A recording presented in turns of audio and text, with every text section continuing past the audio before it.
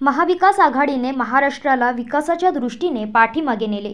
भाजप शिवसेना युतीचे सरकार हे जनसामान्यांच्या हिताचे निर्णय घेऊन महाराष्ट्राचा विकास करणार असल्याचे प्रतिपादन राज्याचे सार्वजनिक बांधकाम मंत्री रवींद्र चव्हाण यांनी रविवारी केले. फडणवीस सरकार असताना रायगड जिल्ह्याचे पालकमंत्री म्हणून जबाबदारीने काम करणारे तसेच आत्ताच्या शिंदे फडणवीस सरकारमधील राज्याचे सार्वजनिक बांधकाम अन्न व नागरी पुरवठा व ग्राहक संरक्षण मंत्री रवींद्र चव्हाण यांचा सत्कार समारंभ माजी खासदार लोकनेते रामशेठ ठाकूर यांच्या प्रमुख उपस्थितीत उरण जे एन पी ए येथील मल्टीपर्पज हॉलमध्ये संपन्न झाला. या कार्यक्रमाचे औचित्य साधून जिल्हा परिषद सदस्य विजय भोईर धुतुमच्या सरपंच रेश्मा ठाकूर उपसरपंच शरद ठाकूर यांच्यासह विविध पक्षांमधील शेकडो कार्यकर्त्यांनी भारतीय जनता पार्टीमध्ये जाहीर पक्षप्रवेश केला. या कार्यक्रमात जिल्हा परिषद सदस्य विजय भोईर ब्लू स्टार सिक्युरिमाझिटी कंपनीचे मालक विकास भोईर धुतुमच्या सरपंच रेश्मा ठाकूर उपसरपंच शरद ठाकूर जासईचे बळीशेठ घरत व्ही एस पाटील कंस्ट्रक्शनचे देवेंद्र पाटील अमर पाटील धनेश गावण आवरे राजेंद्र माटे कविता म्हात्रे कर्नाळा ग्रामपंचायतीचे सदस्य विनोद पवार राजन भोजने आपटा ग्रामपंचायत सदस्य आसद पिट्टू संदीप मुंडे सागर देशमुख बांधपाडा ग्रामपंचायतीचे देवानंद पाटील धनराज कोळी गिरीश कोळी यांच्यासह कडविरा पाणदिवे सारडे आवरे कोपरोली पाले वशेणी विंधण या गावातील विविध पक्षांमधील कार्यकर्त्यांनी भारतीय जनता पार्टीमध्ये पक्षप्रवेश केला. या सोहळ्याला भाजपचे पनवेल तालुका अध्यक्ष अरुण शेठ भगत उरणचे तालुका अध्यक्ष रवी भोईर खालापूर तालुका अध्यक्ष रामदास ठोंबरे उरण नगर परिषदेच्या माजी नगराध्यक्षा सायली म्हात्रे जितेंद्र घरत महिला अध्यक्ष सुषमा म्हात्रे संगीता पाटील विनोद सावळे राजेंद्र पाटील यांच्या यांच्यासह पदाधिकारी कार्यकर्ते आणि नागरिक मोठ्या संख्येने उपस्थित होते. आणि आज मला सांगायला आनंद होतो की तुमच्या सर्वांच्या उपस्थितीमध्ये आज अनेक मान्यवर लोक की विविध पक्षामध्ये विविध कार्यकर्ते म्हणून तिथ्या त्या त्या भागामध्ये काम करत होते सामाजिक काम करत होते. या सर्वांनी या विचारधारेबरोबर येण्याचा आज निर्णय घेतला आहे. मी भारतीय जनता पार्टीचा एक छोटासा कार्यकर्ता म्हणून आपणा सर्वांना आश्वासित करू इच्छितो की तुम्ही ज्या पक्षामध्ये काम करायला आलात किंवा ज्या पक्षामध्ये कामाला सुरुवात केली आहे हा पक्ष राष्ट्रीय विचाराने प्रेरित असलेला पक्ष आहे. तुमचं प्रत्येक पाऊल तुमचं प्रत्येक काम हे देशाच्या हितासाठी असणार आहे. त्यामुळे त्याचा एक आनंद तुम्ही वेगळ्या पद्धतीने अनुभवाल. एवढीच आपणा सर्वांना ग्वाही देतो. गेली अनेक वर्ष राजकीय आणि या सगळ्या गोष्टीचंच भाषण करत होतो. मंत्री झाल्यामुळे ज्या ठिकाणी जातो जायला पाहिजे आणि त्या ठिकाणी काहीतरी ठोस असं काम करायला पाहिजे. महेशबाजी ही सवयच आहे आपल्याला माहीत आहे की तिथे जो कोणी गेला की त्याच्याकडून काहीतरी करून घ्यायचं ही चांगली सवय. एखाद्याकडून कसं मिळवावं आणि लोकांसाठी मिळवावं हे फार महत्त्वाचं असतं. त्यांनी ज्या पोलीस स्टेशनच्या संदर्भात ज्याचं काम अधुरे राहिलं आहे त्या अधुऱ्या कामासाठी लागणारा संपूर्ण निधी हा मी माझ्या खात्याकडून देण्याचा पूर्ण प्रयत्न करेन. धन्यवाद. खरं तर आजचा दिवस जो आहे तो अतिशय आनंदाचा आहे.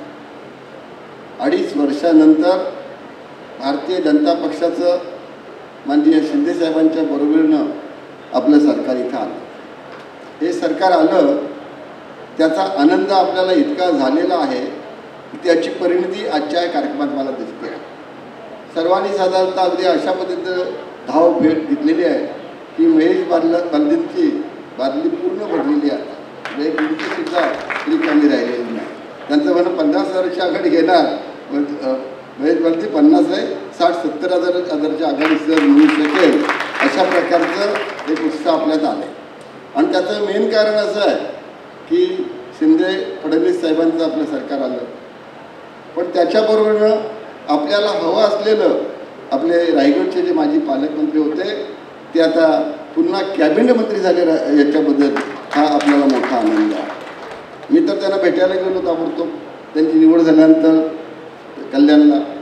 आणि सांगितलं साहेब तुम्ही आता अर्धं काम केलं. तुम्ही मंत्री झालात पण रायगडचे पालकमंत्री म्हणून या अशा प्रकारची त्यांना विनंती केली. मला वाटते फडणवीस साहेब शिंदे साहेब ते नंतर नाहीतर ऐक नक्कीच ऐकतील त्यातला पहिला भाग झाला त्यांना मुंबईमध्ये जे ब मंत्र्यांचे बंगले आहेत त्यांना नावं दिलेली आहेत त्यात रायगड नावाचा जो बंगला जो आहे तो आपल्या चव्हाण साहेबांना मिळालेला आहे तर रायगडमध्ये जवळजवळ रायगड घरात त्यांनी प्रवेश केला आहे तशा प्रकारे आता त्या रायगडचे आपले मंत्री येते मित्रांनो इतका आनंद आम्हाला झाला. खऱ्या अर्थानं पाहायला गेलं तर बस आपलं काम झालं. एकदा मंत्रिमंडळात नाव ऐकलं चव्हाण साहेबांचं नाव ऐकलं म्हटलं छान झालं काम. आणि कॅबिनेट मंत्री म्हणून आलं ते. आता तिथे हे झालेलं आहे. एक कॅबिनेट मंत्रीसारखा आहे ही व्यक्ती मगाशी यांनी मला कुठे वक्त्यांनी उल्लेख केला. मंत्री साहेब पलीकडे तुमच्यातून आले. बाकीचे लोक बघत असतील पांढरा शुभ्र कपडा घातलेला इसवीचा वगैरे असा मंत्री कुठे दिसत नाही. एकदम साधं सुद्धा तुमच्या आमच्यासारखे वागणारे सर्वांच्या बरोबर दोस्तीत असणारे म्हणजे त्यांच्यामध्ये गर्व हा विषय नाही आहे आपलेपणा नुसता आहे भरलेला आणि त्याच्यामुळं जो येईल तो आपला आहे. त्याच्यामुळे त्याचं काम करणं आपल्याला माहीत आहे इतकंच त्यांना माहिती आहे. आणि अशा अर्थानं सर्वांना आपला वाटावाने आपलं घरातल्या माणसाचं काम करावं अशी याची दृष्टी असावी असेही मंत्री आहेत. मित्रांनो अभिमान आणि गर्व असण्यापेक्षा समाजाला आपण सर्व सामाजिक क्षेत्रात काम करतो. म्हणजे काय करत असतो?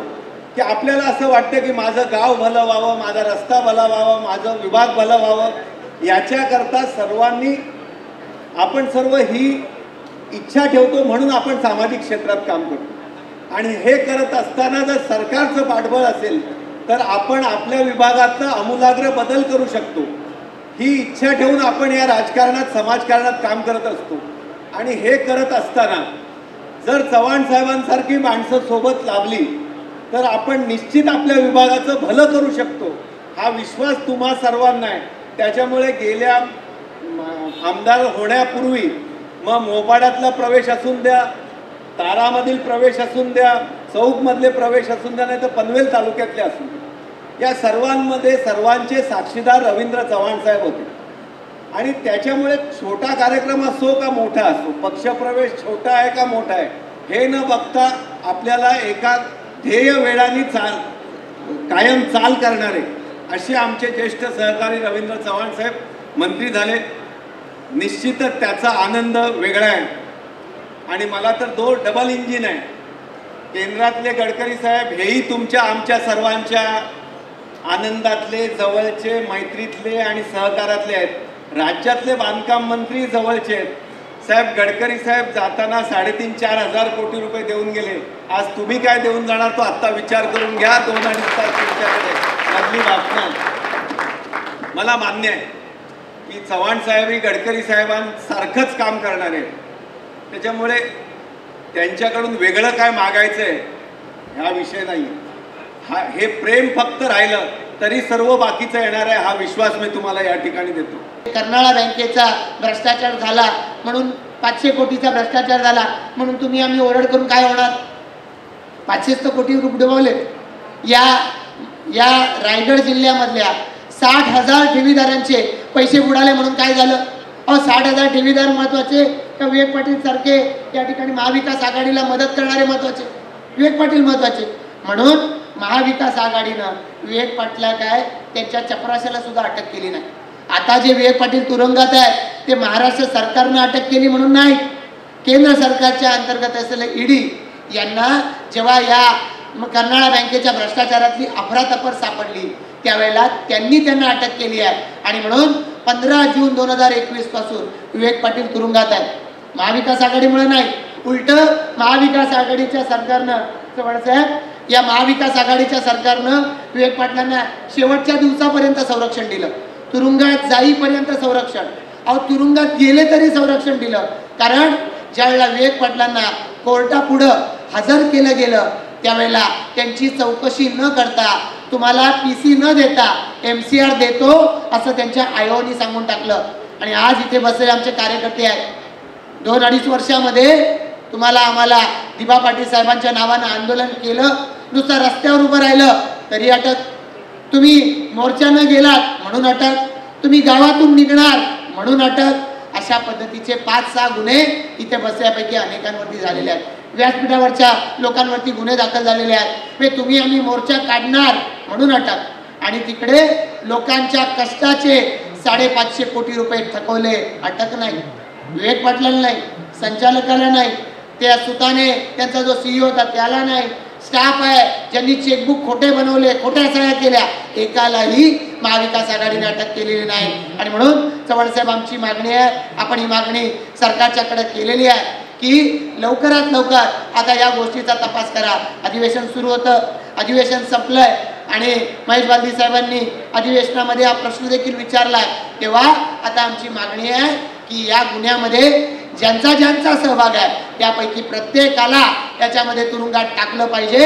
आणि या रायगड जिल्ह्यातल्या पनवेल उरण तालुक्यातल्या ज्याचा ज्याचा या ठिकाणी कष्टाचा घामाचा पैसा बुडवण्याचं काम ज्यांनी केलं त्या प्रत्येकाला अटक झाली पाहिजे.